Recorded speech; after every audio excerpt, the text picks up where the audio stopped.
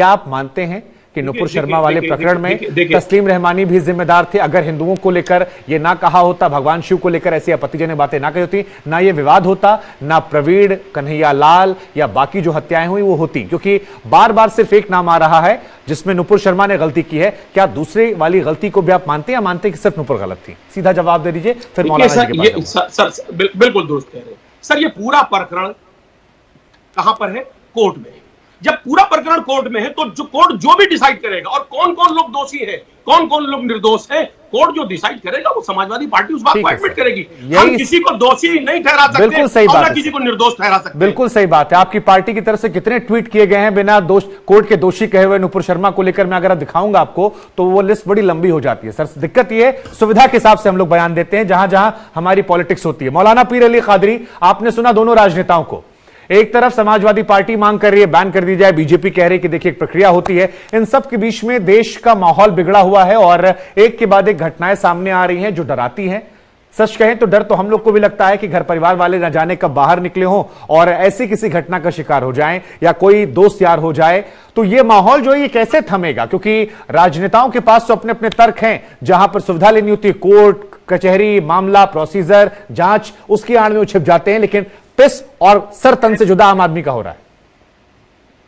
देखिए साहब, मेरे जहन में भी ये बात आज से नहीं, पिछले छह महीनों से है और जब कभी भी हमें मौका मिलेगा गृह मंत्री से मिलने का या अजीत डोभाल साहब से मिलने का तो हम ये बात ज़रूर रखेंगे कि भाई, हम खुद एक मुसलमान होते हुए, एक मुस्लिम कम्युनिटी को रिप्रेजेंट करते हुए, ये बात का मुतालबा कर रहे हैं कि आप पीएफआई पर बैन लगाए।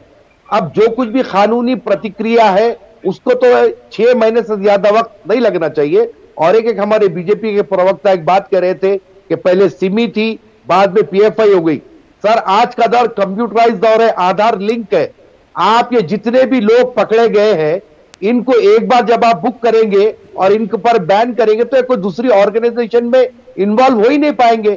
और रहा सवाल हमारे समाजवादी पार्टी के अज़ीज़ खान साहब, जो बहुत ही अच्छे आदमी है और मुझे मिलने की बड़ी तमन्ना है आपसे। मैं कह रहा हूँ आपको, साहब, जहाँ तक के समाजवादी पार्टी का सवाल है, मैं खुलकर के बात कहना चाहता हूँ कि समाजवादी पार्टी ने अब तक के जो कोई भी काम किया है, उसमें दिखावा ज़्यादा रहा बनिस्बत योगी मॉडल के।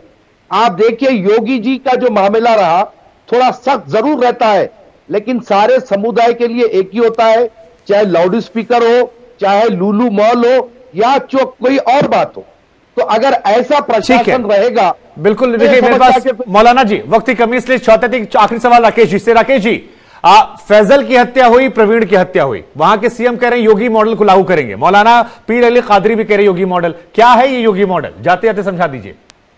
देखिए शुभाकर जी अपराध के प्रति ज़ीरो टॉलरेंस किसी की अपराध की अपराधी की जाति और मज़हब को देखे बिना पूरी कठोरता के साथ कार्रवाई करना और कार्रवाई करने में कोई हिला हवाली ना करना। मैं मानता हूँ उत्तर प्रदेश में योगी आदित्यनाथ सरकार ने यह करके दिखाया है। वरना इसी उत्तर प्रदेश में कानून व्यवस्था सरकार के लिए गले की हड्डी हुआ करती थी। मुलायम सिंह यादव का एक नारा मुझे याद है, जब उन्होंने अमिताभ बच्चन को लेकर के आए थे और एक स्लोगन दिलवाया था कि यूपी में दम है क्योंकि जुर्म यहाँ कम है, लेकिन जनता ने विश्वास नहीं किया। और मायावती जी एक नारा लगाया करती थी कि चढ़गुंडों की छाती पर मुह- मुहर लगाओ, हाथी पर। बाद में वो नारा बदल गया था कि गुंडे चढ़ गए हाथी पर मुँह दले हैं छाती पर। यानी उत्तर प्रदेश में कानून व्यवस्था हमेशा एक मुद्दा रहा करती थी। लेकिन 2017 के बाद से उत्तर प्रदेश में एक जो परिवर्तन हुआ है जहाँ अपराधियों के संगठित अपराध पर बहुत कठोरता से हमने प्रहार करने का काम किया उनकी संपत्तियों को जब्त करने का काम फिर से मांग करेंगे PFI बैन करने की। गुंडा एक्ट गैंगस्टर एक्ट का प्रयोग करना शुरू किया एनकाउंटर सीधे हुए हैं। उत्तर प्रदेश कानपुर में मामला सामने आया था दंगों में पीएफआई का।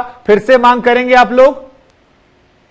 मैं निश्चित तौर पर पीएफआई पर बैन करने के लिए निश्चित तौर पर हमारी ये, ये लगातार मुहिम जारी रहेगी कि जल्द से जल्द पीएफआई पर बैन लगे और पीएफआई नहीं इस जाहिलियत भरी सोच पर बैन लगे। और मौलाना पीरजी कादरी जैसे लोग आगे बढ़कर के मजम्मत करेंगे तो निश्चित तौर पर इस जाहिलियत देखिए बापी के वोट अब ये बड़ी हास्यास्पद स्थिति हो गई है सर कि आ, आपका वोटर ये कह रहा है कि देखिए सपा कह रही है आप लोग अभी तक नहीं कर पा रहे सपा कह रही है हम समर्थन कर देंगे। आप लोग भी सोचिए समझिए इस बात को और अपने नेताओं तक पहुंचाइए। कि अगर समाजवादी पार्टी या मौलाना जी कह रहे हैं कि बैन हो जाए और बीजेपी नहीं कर पा रही तो इससे मैसेज क्या जा रहा है? क्योंकि कई लोग तो यह भी कह रहे हैं कि भाई हिंदूज लाइव मैटर भी। अब इस पर यह मामला जो है, ये बड़ा होता जा रहा है। उम्मीद करते हैं और आशा करते हैं कि अमन चैन शांति देश में हो।